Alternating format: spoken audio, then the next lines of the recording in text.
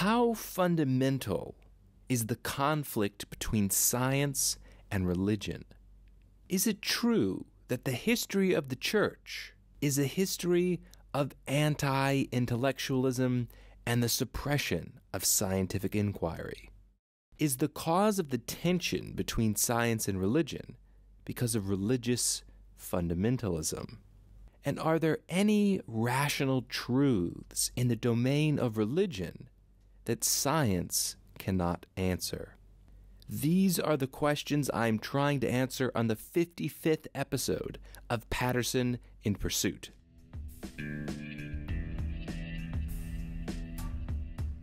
Hello, my friends and enemies, and welcome to episode 55. I'm speaking to you from Thailand right now, though the interview you're about to listen to was conducted in Brisbane, Australia, and boy, is it a controversial subject. If you've been following the show for a while, you know that my default position on everything is a rabid skepticism. But in the modern world, skepticism has turned into a clique. Instead of being an approach to knowledge, it's now a set of conclusions. People who identify as skeptics have to believe in accordance with a certain set of beliefs atheism, materialism, empiricism, and the universal irrationality of any type of religious belief. In my opinion, this is not very skeptical. And if you investigate these topics with an open mind, I think you'll discover that there is truth to be found in religion. You just have to take a lot of the claims in a non literal way. This is part of the discussion that I had with my guest this week, Dr. Peter Harrison, who teaches at the University of Queensland. He is the director for the Center for the History of European Discourses. Dr. Harrison has many professional accolades. Not only is he a practicing historian and an author, but he's the former professor of science and religion at the University of Oxford, where he was also awarded a Doctor of Letters, which is a higher doctorate degree that is given to exceptional academics. His most recent books are The Territories of Science and Religion and Wrestling with Nature From Omens to Science. So, this topic is right up Dr. Harrison's alley. The sponsor for this episode is the company Praxis. My friends, the world has already changed. The job market has changed. Industries have changed. Academia and the credentialing system have changed. The old legacy systems are thankfully dying out, and they are being replaced by companies like Praxis. If you are like me and you're somebody who has ambition, you have high standards, you're highly motivated to make an impact on the world on your terms, then I urge you to rethink the conventional wisdom surrounding getting a formal education in a university and start looking at alternatives. College is way too expensive. You don't learn practical skills. You don't learn correct theories about the world. For the vast majority of people, all you do is burn through a hundred grand and waste four precious years of your time, all the while having bad ideas pumped into your head. But until recently, there just wasn't a very viable alternative, and that's where Praxis comes in. They train you for three months about how to be a competent working professional and achieve your goals, and that's followed by six months of a paid apprenticeship, usually at a startup. You don't need to burn the hundred grand, you don't need to waste your time, you can go straight into the real world. So that sounds interesting, head over to steve-patterson.com slash praxis, P-R-A-X-I-S, and get more information. So I hope you guys enjoy my conversation about the tension between science and religion with Dr. Peter Harrison of the University of Queensland. So, first of all, I want to thank you very much for sitting down and speaking with me today. That's a, it's a pleasure, Steve. I've got a few questions for you that I know this is kind of your area of expertise. Mm-hmm. From my background, when I'm talking to philosophers, and I talk to people who are interested in science. a lot of them are very skeptical when you mention religion. Even say the word religion, and they assume you're talking about some kind of superstition that has been historically very anti intellectual. They think the church uh, has this history of suppressing individual rational inquiry. Mm-hmm. And I'm, let's say, I'm, I'm skeptical of their skepticism, and especially when they start talking about history. Mm-hmm. So, is there's a there's kind of a simplistic story that a lot of people hear, which is the Catholic Church, let's say in the West, actively for you know a thousand years or more suppressed scientific inquiry, mm-hmm. and it mm-hmm. was only after the the shackles were loosened did mm-hmm. we see modern science emerge, and then there was objective investigation into the natural world. And before that, it was just it was pure superstition. Is that an accurate sure. way of thinking about the history of, of the, this relationship between science and religion? Yeah, look, in a word, no, um, and and for a number of reasons. And I think if if you talk to historians, generally speaking, you'll get a a very different view. And I think there there are a number of components to to you know what, what we would regard as the true story. But one of the one of the issues I think is to do with how in the past history has been divided up into into into into various periods. Mm-hmm. And there, there was a long-standing view that, that the Renaissance was a genuine rebirth of learning, and, and what came before that was was the Dark Ages, mm-hmm. where nothing, where there was no intellectual activity. What, what we know, of course, is that there was considerable vibrant intellectual activity in, in the Middle Ages, where we have the foundations of the first universities. They're set up in the Middle Ages, they're sponsored by, by the, the Catholic Church, and there's serious intellectual activity going on there. When we get to the next phase, when sort of modernity dawns from the Renaissance, Reformation, scientific revolution, again, there's a kind of myth that the modern age is brought about precisely as you've said when thinkers start to release themselves from the shackles of religion. Mm-hmm.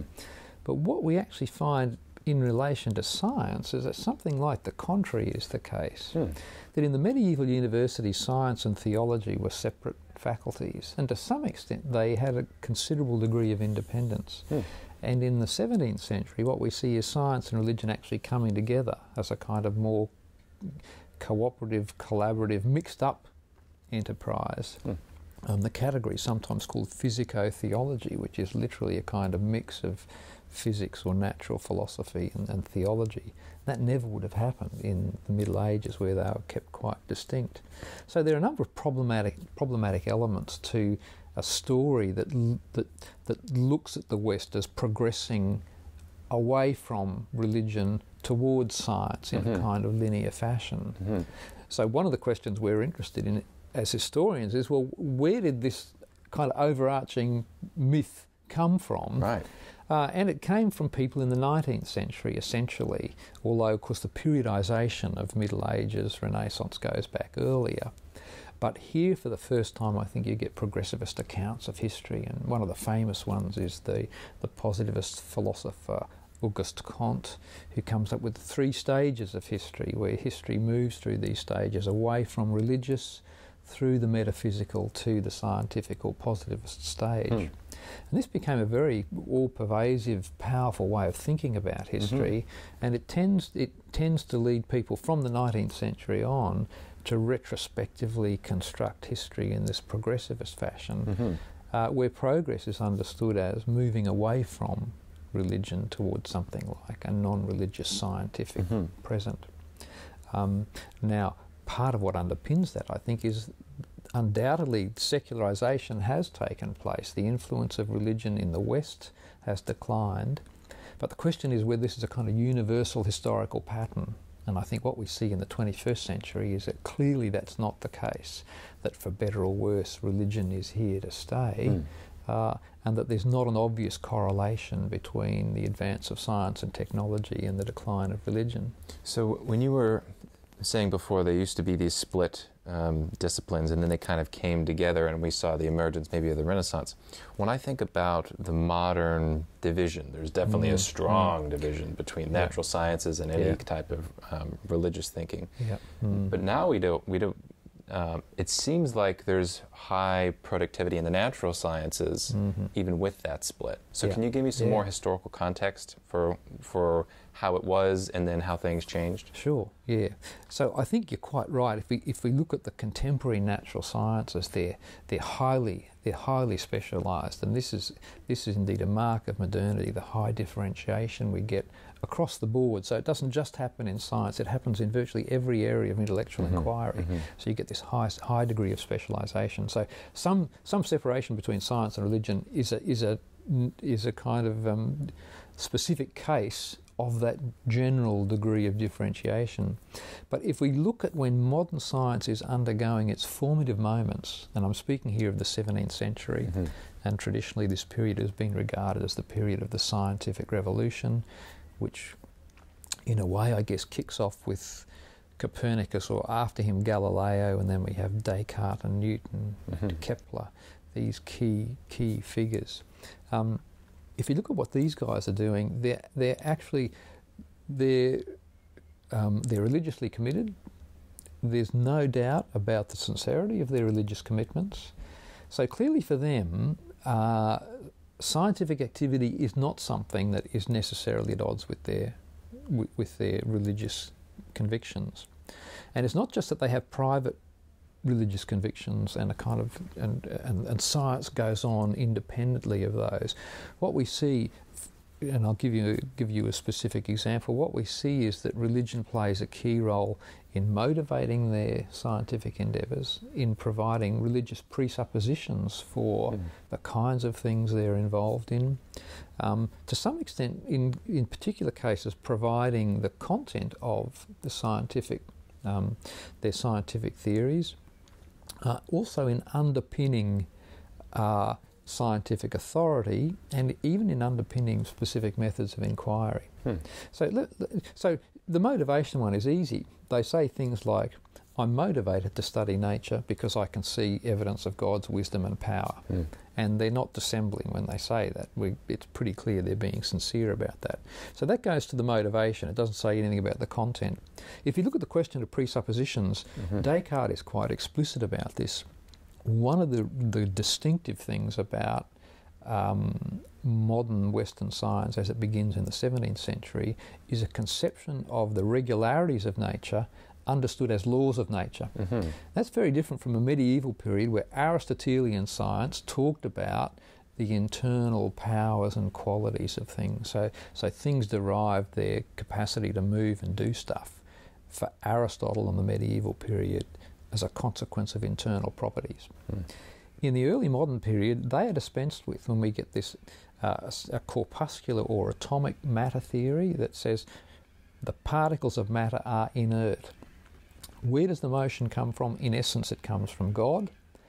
And how is that motion understood? It's understood in terms of laws that God directly imposes on matter. Hmm.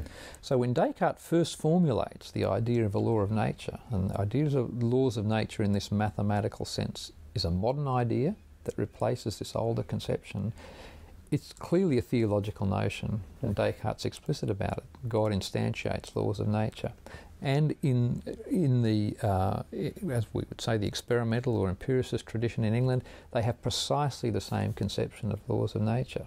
So for Newton, gravity, you've got this conception of gravity, universal laws of gravity. Why are the laws universal? Because God's activity is universal. Why are these laws immutable? Because God is immutable in his nature. Descartes says this. Newton will say something like it too.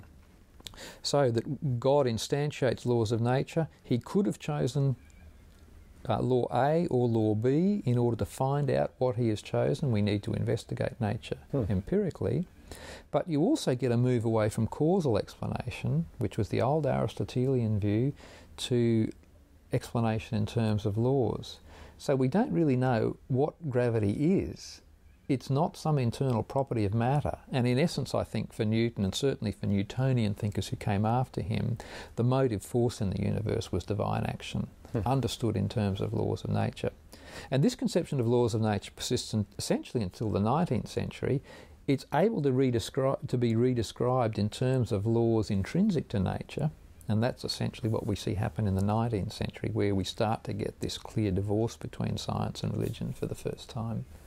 It's interesting you say that um, because one of the areas that I've investigated a little bit is modern physics, quantum Mhm. physics, that Mhm. sometimes gets thrown around to say really remarkable things about how the world works. Right. But it's especially interesting the question why would it be the case that there are discoverable laws of nature Mhm. is something that is a presupposition that Mhm. when you're doing empirical inquiry, I think everybody assumes that there are these laws out there, but why is that the case? Mm. And it's interesting that it seems like that was that was a, pre- a religious presupposition maybe originally, and I, I don't know. I don't really have a good um, answer to why it would be the case that there are Mm. discoverable laws of nature to humans. What's especially interesting is I know that there's a very modern movement that says there are no such laws. It's all made up. Yeah. It's all in. A, it's, everything is chaotic, and we're just kind of making Mm. stuff up. Mm. Yes. Well, the, I think the other move we see in, in philosophers like um, Nancy Cartwright, um, who who had a famous book that went something like "Why do the laws of physics lie?" Now, what Nancy Cartwright argues is that is that partly because um, laws of nature have, have theological origins. If we no longer buy into the, the theological presuppositions, we have no reason to think that there are laws of nature. Mhm. So that's one of her arguments. But uh, she wants to suggest, and there are others like her, wants to return to something like the old Aristotelian view that talks about the inherent powers of things. Hmm. And for Nancy Cartwright, it's a very interesting view. Uh, there are no universal laws of nature. What we see are patterns of order, and that the order that we see in the natural world and that we're able to investigate is a function of the internal properties that things have, and not some imposed uh, law, universal Mhm. law-like nature stuff. So she has an interesting paper called "No God, No Laws." If you don't buy the theological presupposition, don't buy into the notion that there are universal laws of nature. And she's writing this from a standpoint, a non-religious standpoint. She's making this That's as a precisely right. because I could see Yeah. that kind of argument be made by somebody with religious Yeah. dispositions to argue for why you should believe in God. But that's interesting that that would be the, the claim from somebody saying we shouldn't believe in God, therefore no laws. But when you were talking about the history there, you mentioned Galileo. Mm. Galileo is caught up in this story, this Mm, narrative mm. of the demonstration of the anti-intellectualism and dogma of the church Yeah. that yeah. everybody knows Mm, that mm. Galileo had this theory that the earth revolved around the sun. The church didn't like that. They said it's heresy, and so they jailed him because of it. Yeah. That, and then that's kind of the, this is near the foundations of, of the modern um, scientific Yeah. thinking. Mm. Is that story correct? Uh, again, in a word, no. Okay. so what? But you're right to say that it's a key narrative in this story about um, the, the idea that there's a perennial opposition between science Mhm. and, and religion. So let, let, if we go through the facts, Copernicus comes up with a heliocentric view. It's relatively uncontroversial for 50 plus years. That in itself is interesting, right? It's relatively uncon- unco- uncontroversial. It's only when Galileo starts to come up with some telescopic evidence that looks like it might support the theory that's part of the reason it becomes problematic. The other part, I think, is to do with the Protestant Reformation, but I, I won't go into that in detail. So Galileo is cautioned in 1616 and told not to support the Copernican hypothesis, that is, the sun centered hypothesis. He publishes a book, a dialogue on the chief world systems, that looks like it might be subtly supporting it. So he's placed on trial in 1632, and in 1633 he's found gu- guilty of vehement suspicion of heresy and in Mhm. teaching a, a system that's absurd philosophically, which is I'll come back to. Uh, and he's placed under house arrest, and that's that's they're the, the facts. Mhm. Okay, is is this uh, a kind of a classic instance of, of a conflict between science and religion? And I'd say no for two reasons.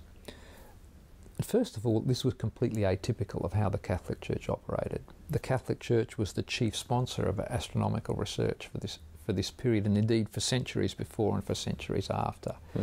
So this is not a typical thing for the Catholic Church to do. And as I kind of hinted to you, part of the context is the religious upheavals that are going on in Europe at the time and the fact that the, the Catholic Church and Catholic authority is under threat from Protestants. Hmm. Okay, and that's why the biblical passages are going to play a role.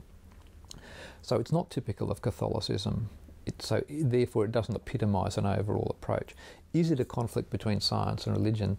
It's not really. It is in part, but the key conflict was between two competing, or actually three competing scientific theories.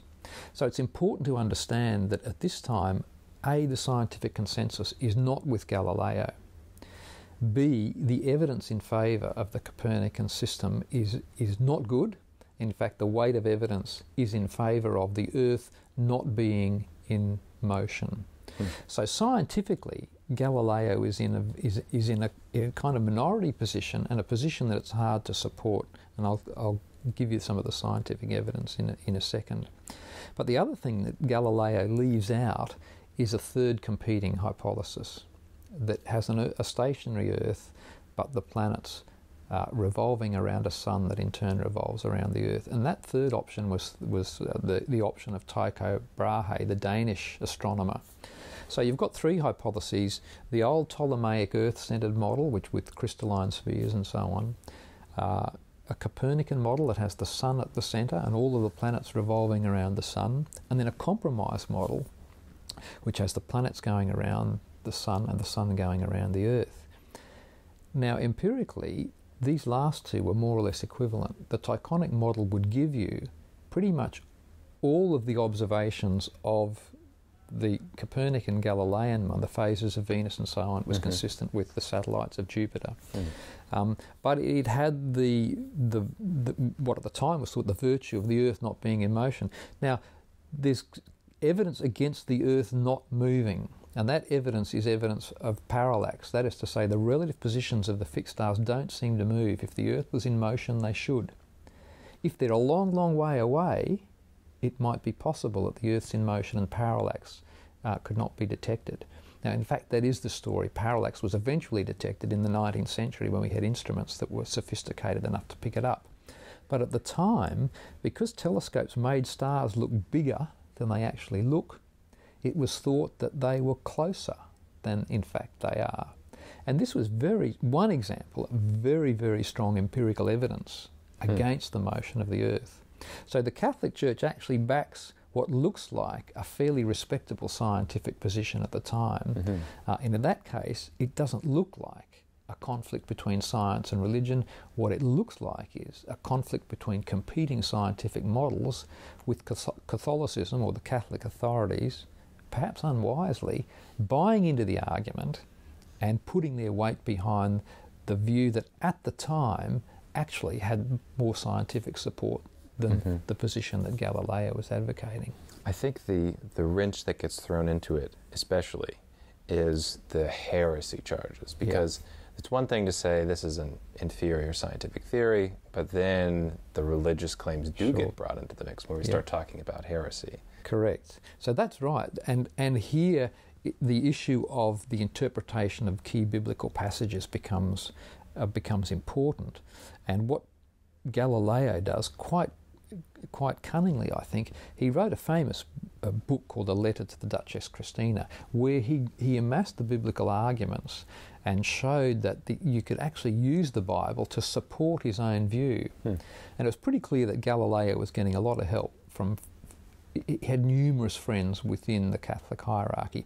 They were feeding him the biblical passages and indeed the views of the great church father Augustine, who, who, who Galileo cunningly uses in this book. But it was a kind of misstep because what Galileo does in claiming to be able to interpret the Bible for himself starts to present a position that's essentially a Protestant position. And the Protestant, the Protestant position was we retain the right to interpret Scripture for ourselves. We don't want the church dictating to us the meaning of Scripture. Hmm. So there's a key principle that came up at the Council of Trent about who gets to interpret Scripture. So Galileo fell foul of the Catholic Church on this point about who gets to interpret Scripture. Hmm. And you're quite right to say it wasn't just that that the view he was defending was found to be absurd in philosophy. It was found to be heretical, and that certainly does look like a, a, a question of religion. But let me just say this, this one thing. If we look at the arguments that are mounted against Copernicanism, and these were interestingly compiled by a Jesuit uh, guy called Riccioli who puts together this, this book that's got all of the arguments in favour of Copernicanism, all of the arguments against it, and the weight and, and, and a number of the arguments that were actually in favour of the Tychonic model, which I mentioned. Um, there are only three religious arguments, I think, against it. Considerably fewer than the natural philosophical arguments, um, and and together the weight of this relatively small proportion of religious arguments with the great bulk of scientific arguments mm-hmm. was significantly more than the interesting number of arguments that were in favour of Copernicanism. So Riccioli's book, The New Almagest, it kind of represents, I think, pretty well the, the position about scientific orthodoxy at the time. There were religious arguments against it. The bulk of arguments were scientific, and there were a few scientific arguments in favor mm-hmm. On balance, it's scientifically not respectable. So, are there any other examples of kind of popular cases of the church versus religion that have the same that that are oversimplified okay. in the popular understanding? Sure. Look, I think I think there's a few. I mean, Darwinism would be an obvious one. I think that Darwinism's are clearly still today kind of problematic. We could probably identify a few others. One was in 1266, going way back, when the Bishop of Paris um, issued 200 condemnation of 219 propositions of essentially Aristotelian science. So that you could say, well, that looks a bit like it's more it's more uh, religion versus philosophy in that context. Mm. But again, paradoxically, some historians have argued that this event way back in 12, 1277 actually was a spur to scientific thinking because it it it pushed people to think counterfactually. Yeah. Um, and thinking counterfactually is really a key part of modern science. So, for example, nothing we observe in the terrestrial environment keeps moving, everything stops. You know, think of Newton's laws of motion. Things will continue, will either remain at rest or they will continue in motion. We don't ever see that in nature, but we can think counterfactually of situations where that might obtain. And, and this ability to think counterfactually becomes a key part key part of modern science. So some people argue that, although on the face of it, that, that the 1277 condemnations look like anti-science, mm-hmm. and they might have been, um, they were never universal across Europe, and they might have had the, actually had the consequence of being a spur to science. So that, that's one. Giordano Bruno is often brought up um, because Giordano, Giordano Bruno is martyred, burnt at the stake. Uh, but he's burnt at the, and he has heterodox religious views that multiplicity of worlds was the big one, but really he wasn't executed for holding heterodox scientific views. He, he was executed, and, and no one's saying this is a great thing, but he was executed for having um, heterodox religious views. So he wasn't a, a martyr to science. Um, so that that would be another another one. Now, were those religious views with Bruno? So when you say he was persecuted for the religious views, were those religious views derived from his scientific views, though? Well, look again, probably not. But here again, here, th- this raises a whole other question of. At this time, what counts as science and what counts as religion? Yeah, right. right. and really, you know, I'd say the categories, the categories are 19th century ones, mm-hmm. and what you're dealing with here is not not science as we, we would know it, but natural philosophy. Mm-hmm. And clearly the boundary, and clearly. There's a lot we could say about this category, natural philosophy. But the short thing we can say is it's not science, it's significantly different from science. And one of the things that makes it different from science is its relation to theological conceptions. Mm-hmm. And it's the, the, the, the boundaries between natural philosophy and science were more porous than they. Are. So, for example, God was actually one of the topics of natural philosophy in a way that he, he's not clearly for modern science. Mm-hmm. So, to go back to your question about Bruno, it's somewhat artificial to, to make a hard and fast distinction between what's going to be a scientific view and what's going to be a th- theological view. But insofar as we can kind of make a rough and ready distinction, um, it seems that his, his views, the, the, the, the, key things that they got him on were theological and not scientific, mm. Insofar as we can make that distinction. Okay, so let's return to Darwin. Uh, you, we, we went from Galileo, touched on Darwin for a second, back to Bruno. What about Darwin? That is a, probably the most controversial figure, at least that I can think of, in terms of this science religion debate that is at, with us at present. Yeah, all right. So, interestingly, in the Galileo case, there wasn't much religiously at stake with a, with a sun centered cosmos and an earth-centered one. So some people argue that there's a kind of demotion of human beings from the center of the cosmos. That that's just not the case. The, the center of the cosmos was the last place you wanted to be because it was furthest from the heavens. So that's why, you know, and, and, if you think about Dante's Inferno, hell's actually located right in the very center of the cosmos. So there's nothing much religiously at stake. Um, and, and don't buy the idea that there's demotion of human beings in the Galileo story. But Darwin, actually, there's a lot at stake religiously. For, you know, if you if you buy into a literal sense of Genesis, and historically, in the Christian tradition, not that many people have, but if you do, clearly there's a, human origins. If you, the literal story of Genesis seems to contradict the, the, Darwinian account. Then you've got the questions about where does human morality come from? Uh, are human beings distinctive in any way, or if if there's just a gradation in in the created order, it looks like we're not special, which seems to be a key part of of Christian teaching that human beings are created in the image of God. What about traditional Christian doctrine like the fall that says we were originally created perfect and we fell away from that. So, again, even if you don't accept a literal account of Genesis, there's some kind of story there that seems to account for why the world is not as perfect as we might otherwise think. Now, I, I think all of those are at stake in uh, a Darwinian account of evolution by natural selection. Right. So, is it then when Darwin publishes *Origin of Species* in uh, uh, in 1858? Uh, does this precipitate a conflict between science and religion? In part, yes, it does. There's a religious reaction against it, and for some of the reasons that I that I talked about. But the part of the story you don't hear is how Darwin had significant religious supporters. And one of the, you know, one of the most prominent was uh, Asa Gray, who was the professor of botany at Harvard, a Presbyterian, but a very strong supporter of Darwinian evolutionary thinking. Uh, and, and in a sense, Darwin's representative in, in America, so quite a, um, a fan of, of Darwinian thought.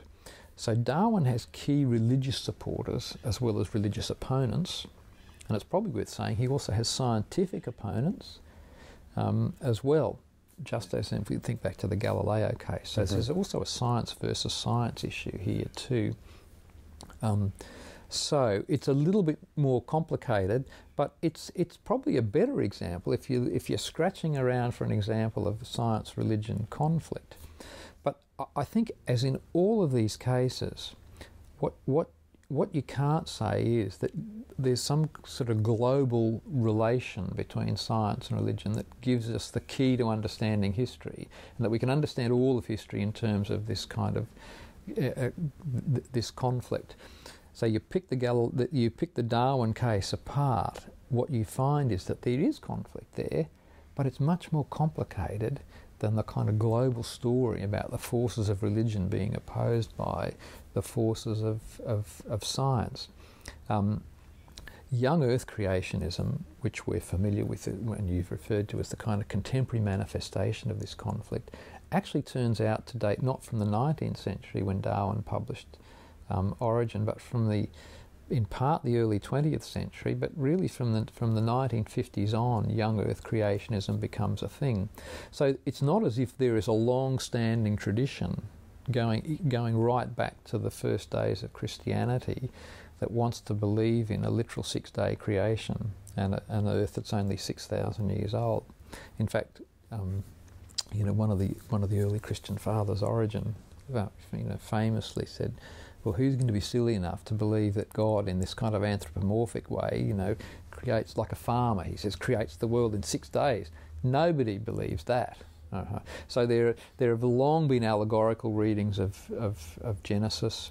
Um, many religious thinkers believed, accepted the geological story about the the age of the Earth, which long predated Darwin's theory of natural selection, incidentally.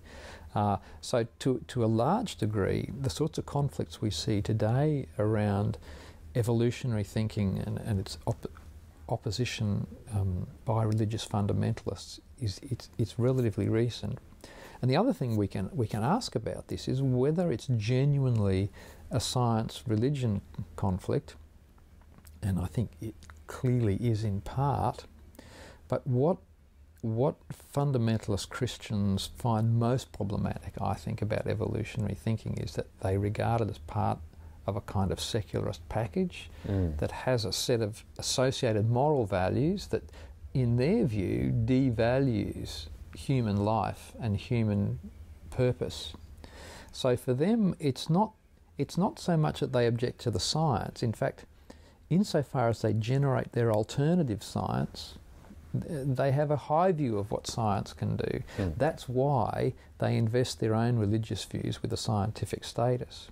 But what they find objectionable about evolution with a capital E is they see it as the bearer of secular values mm. and anti-humanistic values. So that for them it's a moral problem as much as it is a kind of issue to do with science.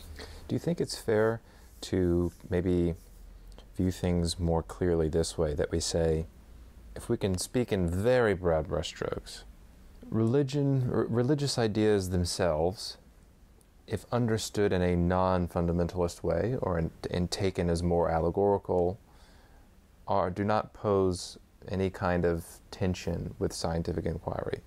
What I see, because my background, I grew up in a Christian evangelical fundamentalist household, had lots of experiences with people who would be young earth creationists, the trouble is when there's a conflict between the scientific claims, the naturalist claims about the nature of the world, with the biblical literalist claims, they do side mm. strongly on the, the biblical side, and then they cite scripture to give their evidence and that kind of thing. Yeah, I think that, I think that's right. And so here, it, it, you wouldn't want to deny that there is there is conflict, right?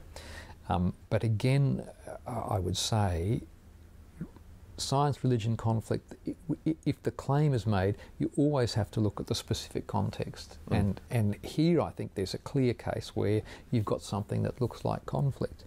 And you've got individuals who believe, who, who, who hear it not only from their own Christian circles, but when you get, um, when you get advocates for science or advocates for scientism, and I'm thinking here of people like Richard Dawkins or the New Atheists, who also want to say evolutionary thinking is not compatible with religion. You've got a disjunction that these people are facing that they themselves believe, they hear it from the other side, and when forced to make a choice, they choose what's most important to them, and mm-hmm. that's their religious convictions. Mm-hmm. And at some degree, you can see why they would why they would make that that choice. Not that I'm not that I'm advocating, right, right. but I'm I am suggesting it, we need to understand what motivates it. Yes, and I think so. Based on my conversations then with the the other side, um, many aggressively, I would say, anti-religious people, and they base their hostility towards their understanding of religion, which is exclusively as a fundamentalist religion. They think what religious ideas are mm-hmm. is something like a biblical literalism. And you see it also like with Islam. The Islamic fundamentalists also have an issue with um, evolution. I think that's also an error on that end because there's this whole. Th- this is an area of thought that I'm discovering kind of in real time after ho- moving past the upbringing that I had mm. and kind of saying this is a bunch of nonsense. Now I'm discovering there's this. There's a lot of truth to be found in allegorical understandings of religion, that it in no way is incompatible whatsoever with scientific inquiry, and in fact does harmonize very nicely if you think of the world as operating according to universal law and that type of thing. Mm-hmm. Yes, so, so to, to, to, to put this another way, it's possible to tell some story about science and religion being in conflict if you define what counts as religion narrowly enough and you define what counts as science narrowly enough, you can make that you can make that work.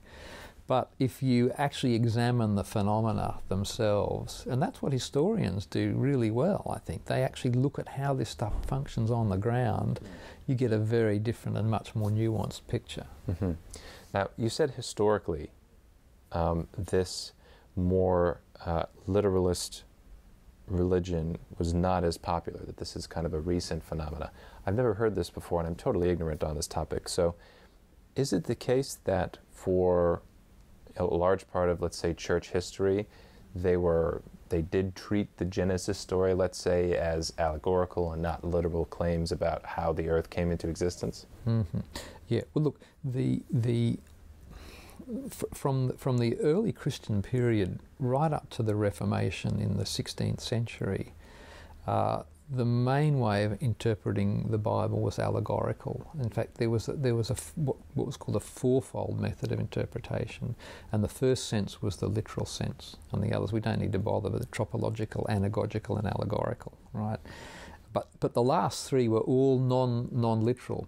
Now, having said that, the literal sense was really important because you needed to understand what the words meant, mm-hmm. but you needed to understand what they meant in order to construct the higher levels of interpretation on, on top of those. So, so allegorical reading was, was, was the kind of st- a standard reading throughout, throughout the Middle Ages. Now, interestingly, the Protestant Reformation, the Renaissance and the Protestant Reformation lead to a much greater focus on the literal sense of, of, of the Bible um, and the intention of the author. And then we get the development of historical biblical criticism, which, which looks at you know, the historical context and attempts to understand the meaning. So you get a kind of scientific account of the meaning of Scripture, whereas the medieval sense was much more a, a kind of sp- literally spiritual reading where you're not interested. It's a kind of devotional exercise in part. So it's not just that you engage in allegorical interpretation, but the Bible functions in quite a different way. And Protestantism makes a key difference because after Protestantism, to some extent, the Bible becomes a source of information. Mm-hmm. And that actually sets up the potential for a conflict between the kind of information that you might find in the Bible and the kind of information that science is going to generate. Now, all of that said, um, scientific creationism emerges as a movement in the US from Seventh day Adventism, and that begins to happen around the beginning of the 20th century. And then there's a, there's a famous book published called Flood Geolo- about flood geology uh, in the middle of the century that then becomes a kind of foundational document mm. for scientific creationism. So when you said that, um, it's a really interesting way of putting it. That some of the ideas in Protestant uh, Protestantism could generate conflict if we take the Bible as s- something that is telling us information about the natural world. That if you if you take that, you're you're going to have conflict generation. So let me ask you then, going back kind of where we started this conversation, does it make sense then to say, insofar as we understand religion, it must be taken allegorical and it must be taken non physical so that we have this split between science and religion so that the final say in naturalistic matters about the material world mm-hmm. is the science. Well, you could say that. you could say that. Look, I, I would again nuance this, this slightly differently, and, and I'd say two things one about science and one about r- religion religion is not primarily, I don't think, historically across its various manifestations, it's not primarily a proposition generating exercise that's attempting to generate propositions that, that give us a true reflection on the natural. That's not what it aims for. Hmm. Now, there are implications that might have, they might have implications for what, what the natural world should be like, but that's not the main game. So the point here is that science and religion are not competing to do the same kind of work right? Now, some advocates of a number of advocates of science-religion conflict will construct it in precisely that way. So religion just becomes a poor version of science, and that, that if you set it up that way, you, know you're going to you're to get the result you want. So that that's what I'd say about religion. Let's not think about religion as a, an, an attempt to generate a scientific view, a poor attempt to generate a scientific view of the world. Okay, science, do we give science the last word on, on nature? Well, I'm inclined to think for the most part, yes. But let's remember this um, science is a moving target.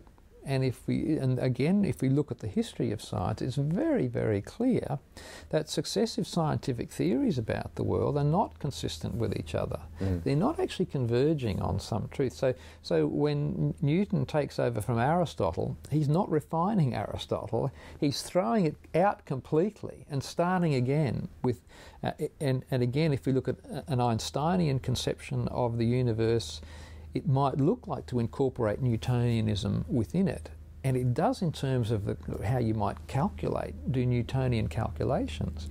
But in terms of what Einstein postulates about what's really there, it's a very different set of realities to Newtonian conceptions of mass and force. Okay, you've got you've got space being warped by mass. Mm-hmm. And so these, so successive scientific theories don't look like they're converging on some ultimate truth about how things are out there. They're giving us a better purchase. They enable us to do more stuff. But the realities they postulate differ systematically. Mm. So I'm quite happy for scientists to have the last word with that proviso that we understand that science is a work in progress and it, it, in a way, um, uh, if if you're wanting to give, have a tight reconciliation between science and religion, it's a mistake to make that too tight because science is on the move. I very much like that point because, from my perspective, is not uh, fundamentally theological. It's not fundamentally scientific. It's philosophical. It's logical. It's um, kind of uh, theoretic as one step prior to the empirical analysis. I think you have to have a theory prior to even examining the world to make sense of it. Mm-hmm. And very essential to this way of thinking is avoiding dogmatism, mm-hmm. which my, criti- my criticisms of the fundamentalist um, religion is that it is absolutely dogmatic mm-hmm. when they have uh, a conflict with scientific data. Instead of engaging it in a philosophic way, it's just, well, this is dogma. But you also see this with the this crude sciencists, the science uh, of scientism, yeah. where they say, well, these claims couldn't possibly be right because this is the modern, orthodox, uh, advanced way of understanding of the world. I find that equally as dogmatic, except that one comes with the veneer of being intellectually mm. sophisticated because mm. you're repeating the orthodoxy of the modern experts. Exactly, exactly. So, in in a way, you've got a kind of fundamentalism on both sides yep. that gives rise gives rise to this conflictual situation. Yeah. So, last question I want to ask you then is about a way that we can think of religious claims not being claims about the natural world, but still having truth value to them. Mm-hmm. So, just in your own worldview, do you see? You, I imagine you don't really see tension between science and religion. It's just kind of two other two areas of thought. What are those? What are the questions that you think can be meaningfully answered and talked about in a intellectually uh, respectable and reasonable way that just aren't naturalist in nature or aren't aren't material in nature? Sure. Look, look, I think all of the interesting questions actually fall into that category. and those interesting questions are questions about value. But I think we also have to ask what is it that makes science possible? What is it that makes mathematical reasoning possible? Um, what is it what is it that underpins our values? And it seems to me that it, it, science cannot answer the question that relates to its own success. Hmm. What is it about human minds that has a capacity to, to, to get to the nature of things insofar as it can. And what's interesting, I think, is that evolutionary theory actually is totally unhelpful in answering that question because it suggests that there's no reason we should mm-hmm. think that's the case at all. Mm-hmm. So, so I, I think that most of the interesting questions about meaning and value and about the success of our scientific endeavours are themselves non-scientific mm. questions. Mm. And if we don't acknowledge the, the, the, possibility of, of asking those questions and at least attempting to provide some answer to them, then, then really the scientific enterprise itself, I think, sits on very fragile foundations. Now, when you're investigating those questions, that also seems like an interesting area of just pure philosophy. Um, so, if it's not just pure philosophic inquiry, why look at the religious, religious any religious arguments? Well, I think some religious arguments are already philosophical, mm. um, uh, for a start. But uh, I would say more more than that. Um, any line of questioning that's that's looking at at evidence must come to a stop somewhere. And then we get back to the question of, you know, as someone like Alvin Plantinga would say, what beliefs are properly basic? Hmm. And that I think ultimately is not it's not a scientific question, it's partly a philosophical question, but I think it's also partly partly a religious question. Hmm. So I'd say that I think the other thing that as a historian what I see in in the the religious traditions is um, is a long tradition of kind of congealed wisdom. That that I don't subscribe to the view that people in the past were stupid, or that they were somehow less intelligent than us, or that that that, that the ideas they came up with are necessarily going to be inferior to ours. And I think this is a good attitude for historians to take because it's very easy to misunderstand the past if we treat it with condescension. Hmm. And so I think p- part of my attitude to religious ideas and religious traditions would, would fall into that category of attempting to respect the views of other people and the views that the vast, if you think about history, and this includes philosophy as well, the vast majority of people in history have been religious. They've held strong religious views, and this applies to the philosophical tradition in the West as well. Mm-hmm. Now, unless these people are complete idiots, it seems to me, there's going to be something in in these ideas that's worth exploring and worth pursuing. Mm-hmm. I think that's especially true if you um, split how what areas of thought you're talking about. So it's also the case that most people throughout history held bad ideas about how the world worked. True, and that will probably be in the in in the fullness of time be true of our period as well. I think that's definitely the case. Um, when you when you were saying just a minute ago, though, maybe in in uh, in closing here, what's really fascinating in my own pursuit is that I'm I've investigated what I have dubbed irrationalism. That's mm-hmm. what I, I call there's a there's a philosophic, scientific, cultural movement which says reality is unknowable, there are logical contradictions and paradoxes all around us, human reason is fundamentally flawed.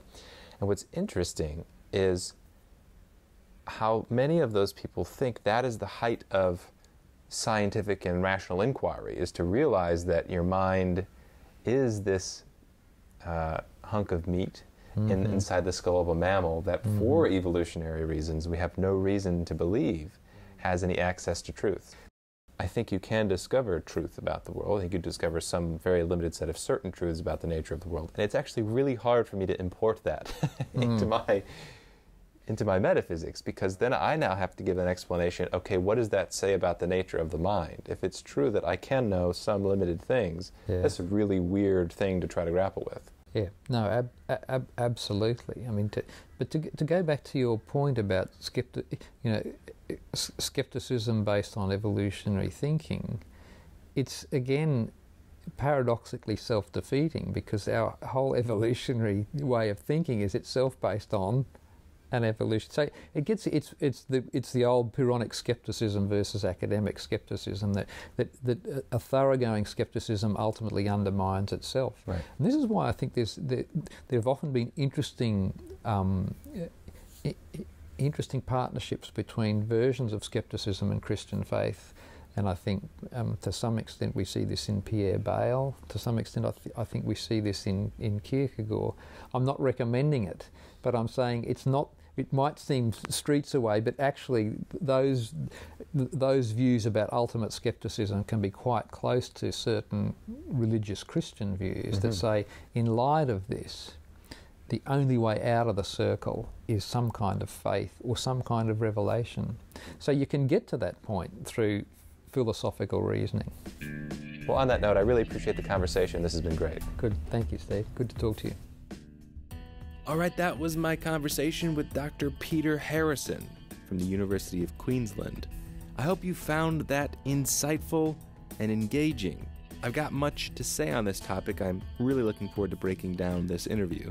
I think with controversial subjects like this, there's so much misinformation, there's so much dogma, there's so much emotion that's running through people who find themselves on both sides of this issue that the rational middle ground, I think, can be really hard to find.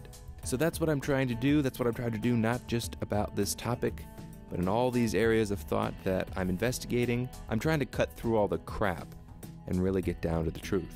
So if you value this project and you want to listen to more interviews like this, then you can help support the show at patreon.com slash steve patterson you can sign up join the more than 85 other patrons of the show who contribute just a dollar or two whenever a new episode or article is released plus if you become a patron you also get some neat perks including free copies of the two books that i've written so far if you want this message to reach more people, you can also leave a rating and a review on iTunes and Stitcher.